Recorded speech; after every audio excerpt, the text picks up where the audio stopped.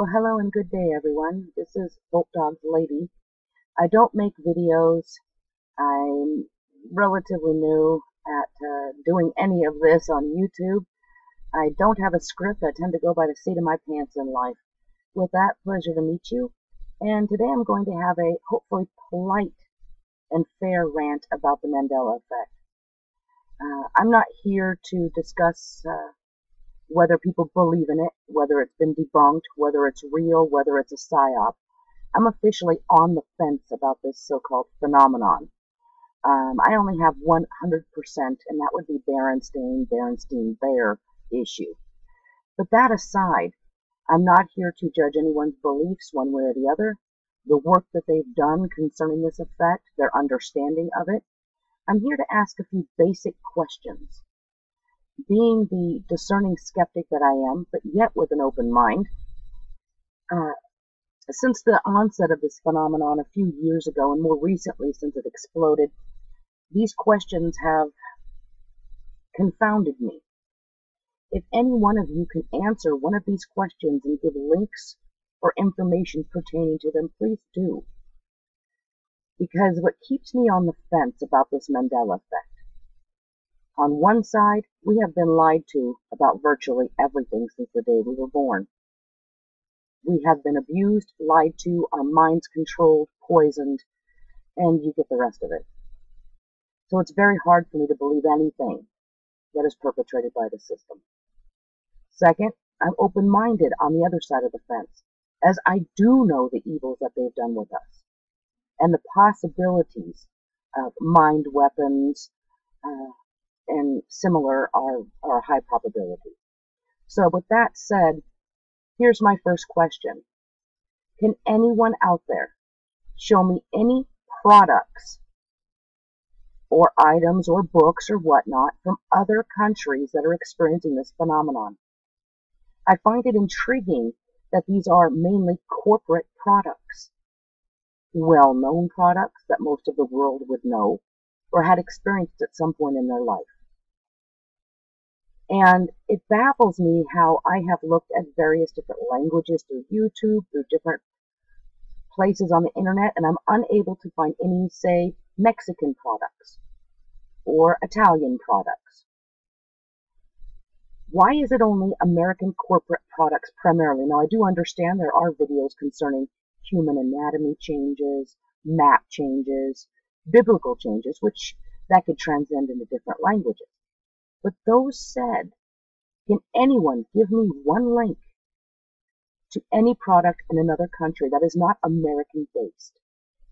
If you can, please put a link to that product because I'm greatly intrigued to know why this is simply an American phenomenon predominantly. Why? That this is supposed to be changing timelines, possibly parallel universes, why wouldn't this be worldwide phenomenon involving worldwide products? History. So if anyone has an answer to that, please leave a message in the uh, in the postings or a link. My second question. Does anyone have any personal, private Mandela effect experiences that are not a part of the known? What I mean is say that you wake up one morning you walk out to your kitchen to grab your favorite cereal or your coffee, and you find the name has changed. Now, I have not seen many personal experiences, and I have scoured for months. Very, very few. And again, those can be open to interpretation, depending on what you believe. But why are there not more personal experiences? Again, if we're all eh, eh, eh, going through a parallel universe or time change or CERN is involved. Why? Why aren't there more personal, private experiences of the individual seeing this on a daily basis? So if anyone has a personal or private experience, or if someone they know that has had one, I don't mean Jiffy Peanut Butter or the Bible or Berenstein Berenstain. If anyone can find something, please let me know. And I appreciate you listening to my two questions. This might help me to understand better what this effect is and to be able to approach others that might be possibly being misled by this effect. Um, I thank you for listening, and I hope you have a great day. And a just a little P.S. Um, I've been looking. This is just different research that I've done over time uh, about the Mandela effect, and I have heard theories that CERN is possibly involved. Well, may I offer this as another alternative? I hear everyone talking about CERN and talking about how CERN could be the major possibility of all of this. Has anyone taken into consideration that CERN is not the only large hadron collider on the planet? As a matter of fact, there is one in Texas known as the Desertron that they state has been defunct for years. That said, when one researches, you find that this one is more capable and more powerful than CERN. You also have them in Batavia, Illinois. You have two in California, and goodness knows how many others on the planet. I hardly suggest those that are blaming CERN for this phenomenon to really take a look further out than just the more popular, such as Mandela, Bernstein, Bernstein. CERN is the problem.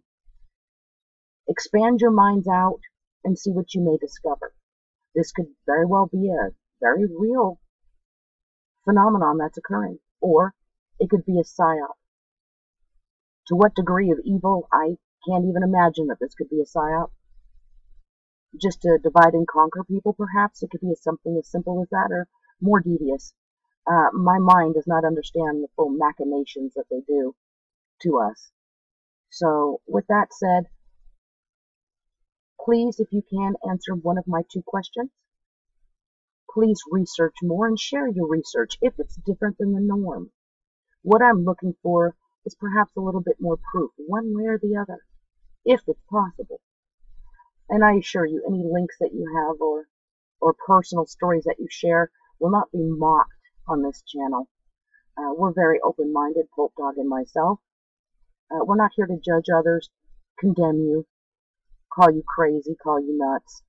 We're here to share and learn, just like anyone else who is on the path of truth. So with that, no more PSs. Thank you for listening and have a great day.